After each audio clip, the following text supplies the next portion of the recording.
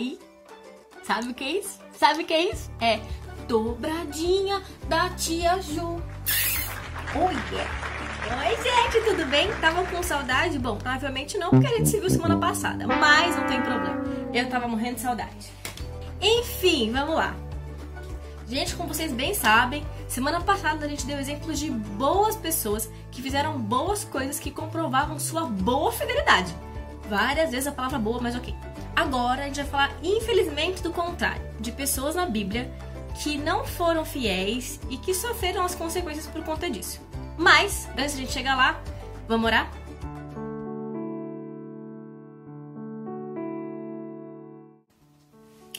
Paizinho, muito obrigado por mais um dia, muito obrigada por mais uma aula, muito obrigada porque mais uma vez podemos estar juntos diante de Ti. Fala conosco, ensina o nosso coração, que a gente possa aprender essas coisas e nunca mais nos esquecer delas. Em nome de Jesus, amém.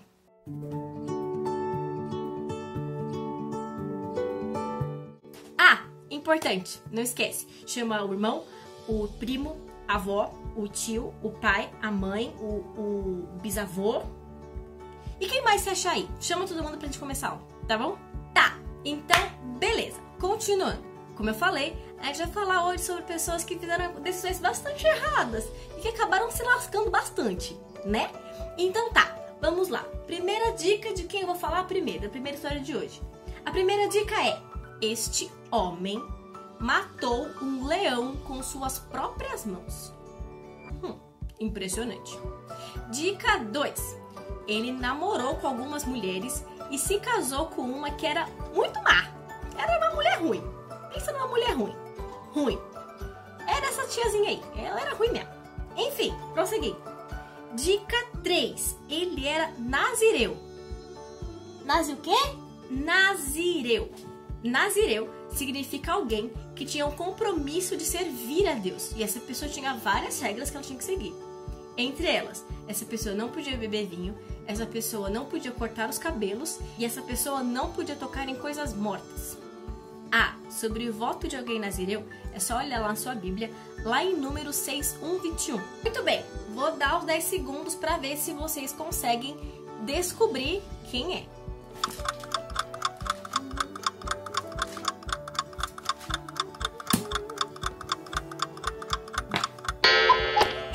já deve ter dado os 10 segundos. E aí, você descobriu de que eu tô falando?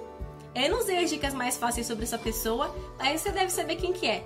Eu tô falando de Sansão. Sim, aquele cara que tinha os seus maravilhosos cabelos compridos, mesmo porque ele era nazireu, então ele não podia cortar os cabelos. Então ele tinha cabelos muito compridos. Então a história de Sansão começa assim. A mãe de Sansão não podia ter filhos. Mas aí um dia, um anjo oh, apareceu para ela e falou assim: querida, tu vai ficar grávida. Só que essa criança que vai nascer, ela vai ser consagrada ao Senhor, ou seja, ela vai ser nazireu. Então, você precisa é, ensinar a criança que ele não pode cortar o cabelo, que ele não pode encostar em coisas mortas e que ele não pode tomar bebidas impuras. Beleza? A mãe de falou assim: top! Vamos dar. Aí, ela engravidou. Sansão nasceu e Sansão foi crescendo, crescendo e ficando cada vez mais forte, cada vez mais robusto, muito musculoso, muito forte mesmo. Ele derrotava os seus inimigos na base da porrada. Ele era um homem muito, muito, muito, muito, muito, muito forte. E ele foi levantado por Deus para ser um juiz, ou seja, ele era um cara que liderava Israel. Então ele era um cara muito importante e muito forte, e sua força estava, como vocês bem devem saber, em seus cabelos. Sansão então se casou com Dalila. Vocês provavelmente lembram disso. Só que aconteceu? Os filisteus, cansados de perder para Sansão, foram até Dalila e falaram assim: "Olha, se você descobrir qual que é o ponto fraco de Sansão, como que faz para ele ficar fraco, a gente vai te dar muito dinheiro. Nós vamos te encher da grana. Então é só você descobrir, contar pra gente que a gente vai te, ó, deixar riquíssima." Ela achou a ideia sensacional e ela começou a insistir, insistir, insistir, perguntar pra Sansão o tempo todo. Ai, amor, sabe o que que é?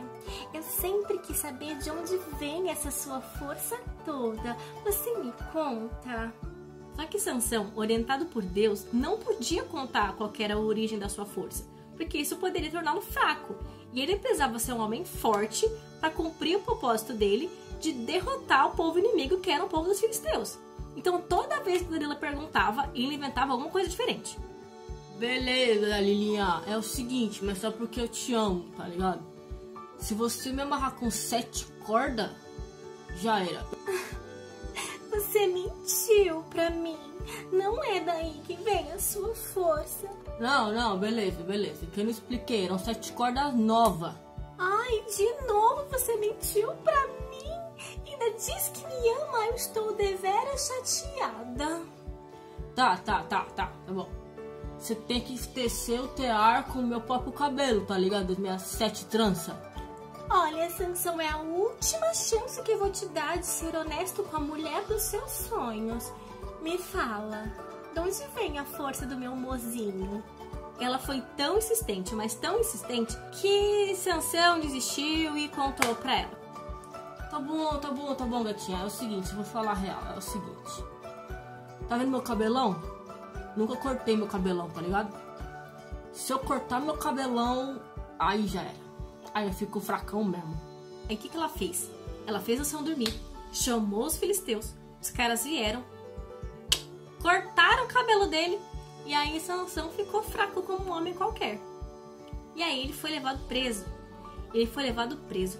Ele foi feito escravo e ele ainda teve os olhos furados. Olha que coisa horrorosa. Só porque ele foi desobediente e não cumpriu com o propósito dele de permanecer forte, de não contar qual era o seu segredo, para poder derrotar os filisteus, que eram inimigos de Israel. Além de perder a sua força, ser levado preso e ter os olhos furados, Sansão desagradou a Deus. Isso é o mais triste, porque tudo que a gente faz de errado traz consequências. Só que Deus também se entristece. Deus ficou muito chateado com Sansão, provavelmente. Vamos agora para a segunda história. Legal. Vamos lá. Dica número 1. Um. O seu nome significa pomba. Dica número 2. Ele foi jogado para fora de um barco no meio de uma tempestade. E dica número 3. Ele é considerado o primeiro missionário enviado aos gentios, ou seja, aqueles que não são judeus, mas que virão a crer em Deus, como nós. 10 segundinhos para vocês. Vai, vamos lá.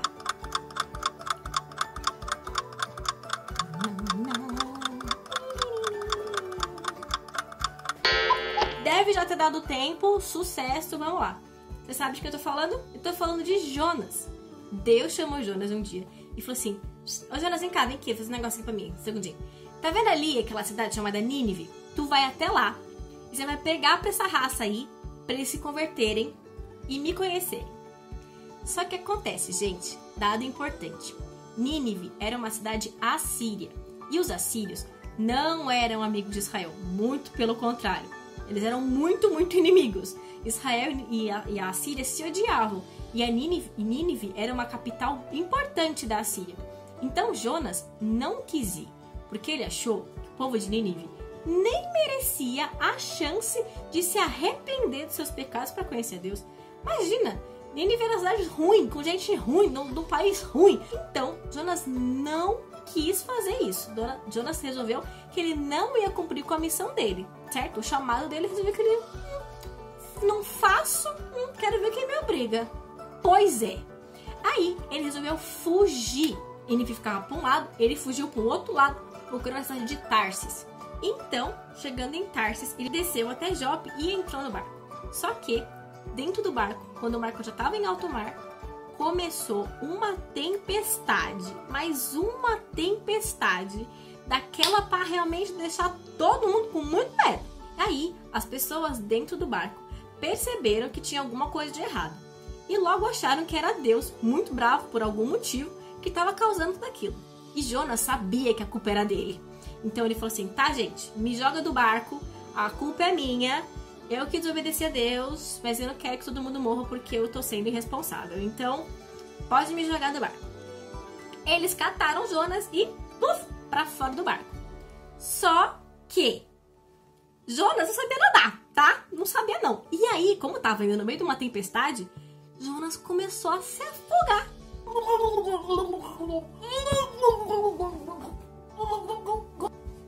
Jonas foi se afogando, se afogando, se afogando. E aí, Ele se arrependeu, pediu socorro para Deus e Deus mandou o quê? O quê? O quê? Deus mandou um peixe gigantesco para engolir Jonas. E aí ele ficou dentro da barriga do peixe. Eu acho que foi tipo assim. E dentro do peixe. Ah, nossa! Ai! Eita! Nossa, mas fedido esse bicho que você fez, hein, Deus? Nossa, mas tudo bem, tô reclamando não, tô agradecendo. Que se eu estivesse lá fora ainda, na água, eu tinha me afogado, né? O senhor é muito fiel, muito fiel, porque realmente eu não merecia não, Deus. Mas já que o senhor me salvou, me deu outra chance, muito obrigado, o senhor é maravilhoso. Eu vou fazer o que o senhor me pediu, tá? Eu vou. Pediu não, né? Mandou. Aí, se o senhor quiser me deixar em qualquer lugar aí, eu me viro só. Preciso ser vomitado, né? Porque eu tô dentro do peixe, eu preciso sair daqui. Eu tenho que apertar algum botão? Não? O senhor resolve? Tá bom. Vou aguardar aqui. Quanto tempo será? Acho 15 minutos? Ué, três dias? Tá bom, não vou reclamar não, Deus. Não vou reclamar porque, como eu falei, né? Isso aqui foi o que me salvou. Esse peixão grandão. Então Jonas, depois de três dias, foi cuspido do peixe. Oi. Tudo se mexendo aqui dentro, gente. O que tá acontecendo? Ai, socorro! Ele correu até Nínive, pregando e falando sobre Deus para todas aquelas pessoas, e elas se arrependeram. Só que Jonas, lembrando, ele não queria fazer isso. Então, de novo, não fazer o que Deus quer e não ser fiel traz consequências. Vamos agora então para o nosso momento DVA.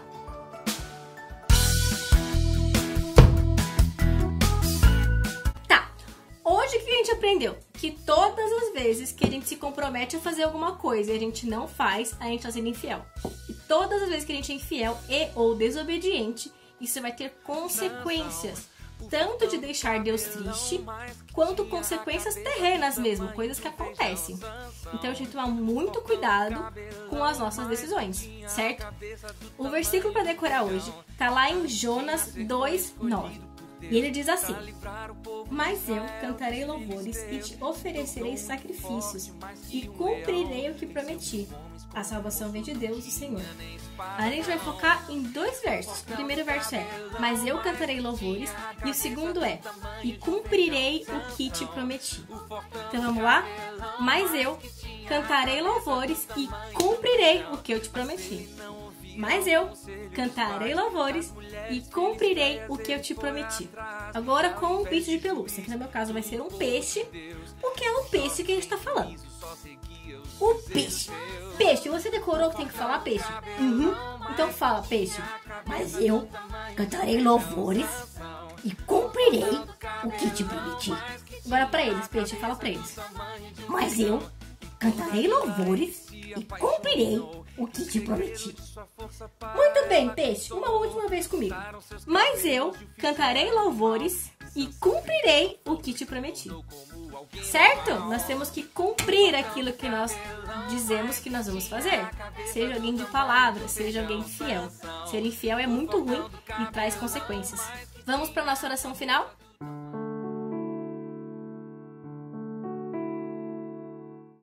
Paizinho, muito obrigada pela aula de hoje. Muito obrigada por todos os ensinamentos que o Senhor nos tem dado. Abençoa nossa família, nosso lar, nossos amigos, Pai. Que nada nos falte, nem as pessoas que nós amamos. Pai, cuida de todo mundo. Cuida dos doentes, Pai. Nós pedimos mais uma vez que o Senhor tenha misericórdia e piedade daqueles que estão doentes nesses dias. Em nome de Jesus. Amém. Gente, é isso. Até a próxima. Fiquem com Deus.